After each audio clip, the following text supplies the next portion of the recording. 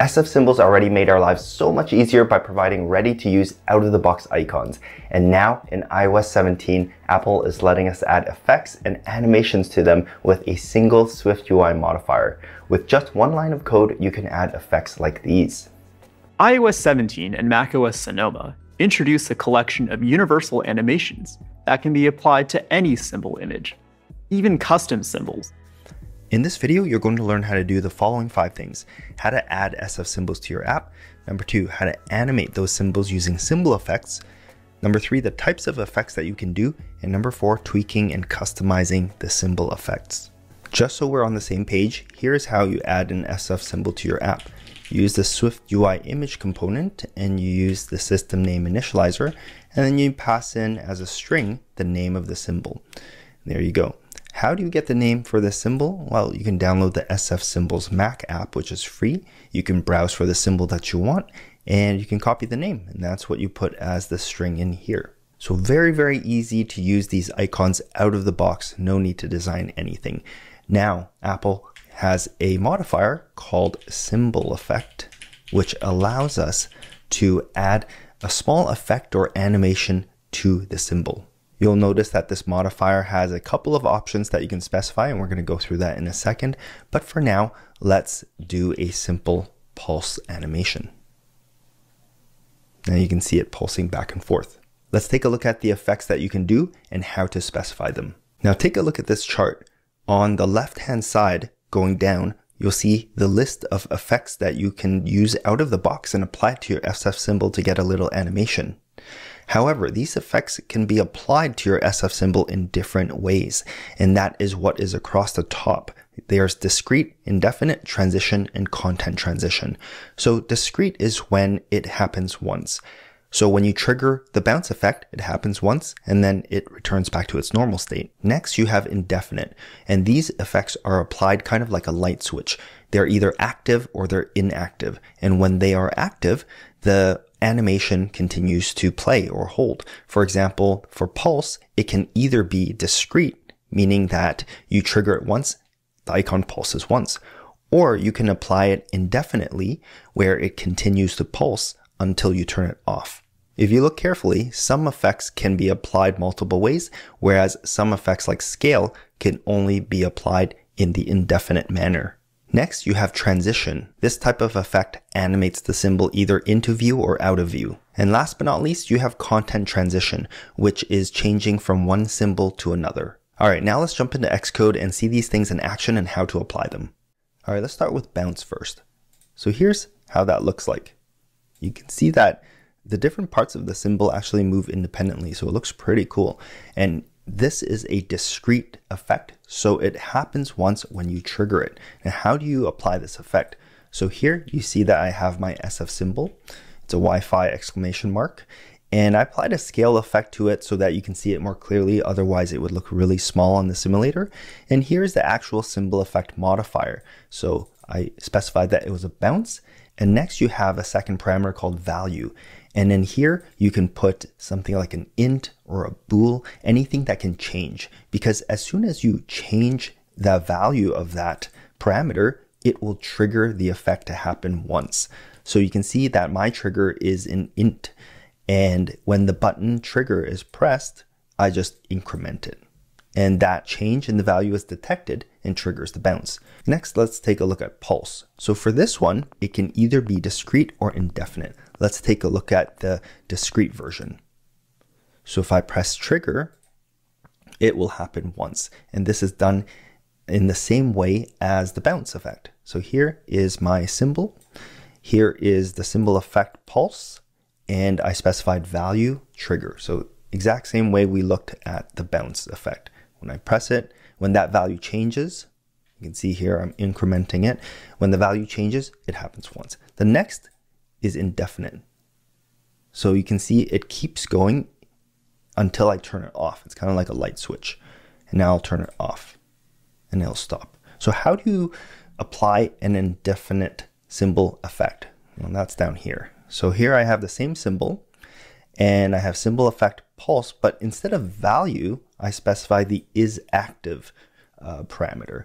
And here you put a boolean. True is when it is applied, So the light switch is on. And when I flip this to false, the effect will be uh, not applied. So here my button simply toggles the Boolean to between true and false. So right now it's true.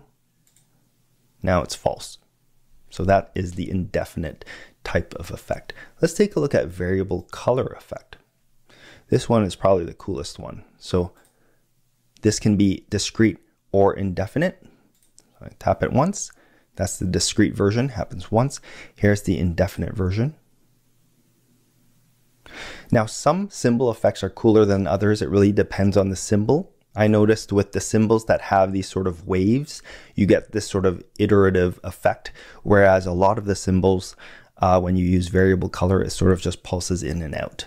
Again, to apply the effect discretely, use the value parameter in the symbol effect modifier. To apply indefinitely, use the isActive parameter and pass in a boolean. Let's take a look at the scale effect. Now this you can only apply indefinitely. So it's either on or off. So this one is actually scaled down.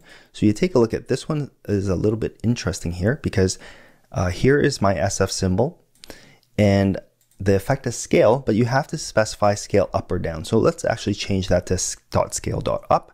And when I tap on it, you can see that it grew a little bit and it will stay that way until I turn the effect off and it'll scale back to its original state. So scale down will just sort of shrink it like that when it's active, so it's scaled down. It's inactive, so it scales back up. And you'll notice that there is an animation between the states, which is really, really cool. Now we're going to take a look at appear, and this can be either indefinite or transition.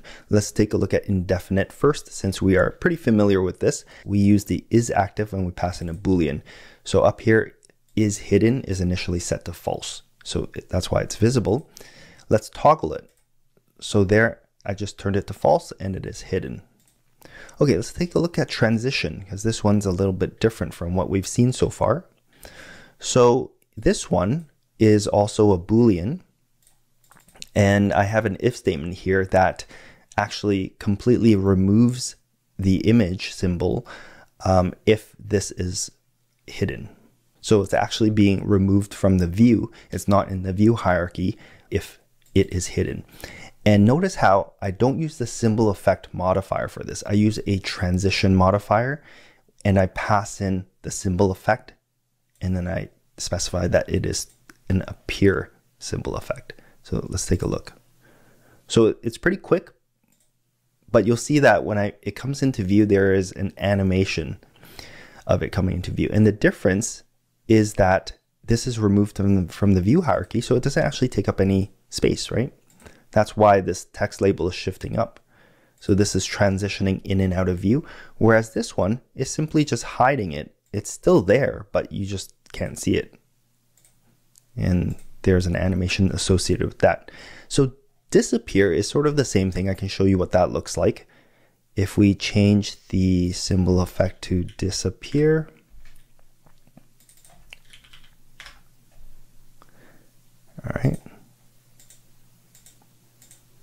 So it's really hard to tell, to be honest, but there is an animation when it disappears. And actually later when we take a look at the SF Symbols app, there's a way to preview all of these uh, symbol effects before you choose to use the symbol. So it actually might be easier to preview it there uh, and see if that's what you want before actually writing the code. Okay, let's take a look at replace. This is the last one that we're going to go through. And this is a content transition. So again, it's applied differently as well. So here is the symbol and you can see the symbol that I use depends on this Boolean is paused, which is initially set to false. And that's why it's showing the play button. But when I tap on this button, it's going to toggle that Boolean and then it's going to change it to a different symbol. It's going to change it to the pause symbol and it's going to go between play and pause each time I tap on the button. Here I applied a content transition modifier with the symbol effect replace. So then there is an animation that happens between the two symbols. If we didn't have this, it would just sort of flip between, you see that? No animation, it just changes instantaneously Whereas this one has a little nice animation like that, very easy to apply. You can also tweak symbol effects like this. The best way to experiment with this is actually to download the SF Symbols Mac app. And on this page, you can find the beta for this, which is what you're going to have to use uh, at the time of this recording. Now, using that app, if you select the icon that you want, let's say this one, and you go into this tab right here, which is the animation tab, you can preview the animation. So let's take a look at this. So that's how it's going to look. Okay, but if you do iterative, you can see it looks a little different. And if you hit hide, you can see it looks very different. Reversing lets it go backwards. Cumulative let it's sort of like an additive effect. So then once you've customized it the way you want with these options, you can choose this button to copy that configuration. And then you can go into your Xcode project. And let's say we're going to apply it to, that was the variable color one, right? So we can apply it variable color iterative hide inactive layers reversing. So then that's what it's going to look like. Now, I'll be honest, in the DubDub23 video where I learned this stuff, link in the description below, they showed the coolest symbols with the coolest effects. In reality, most of the symbols don't have such detailed effects. However, I'm still really happy with how easy it is to just make your UI feel responsive and alive. So what do you think about symbol effects? Will you be using them in your app? Let me know by leaving a comment below. And if you're brand new to app development, check out our three hour beginner masterclass where you can learn Swift UI and build your first app, no experience required. Thanks for watching and I'll see you in the next video.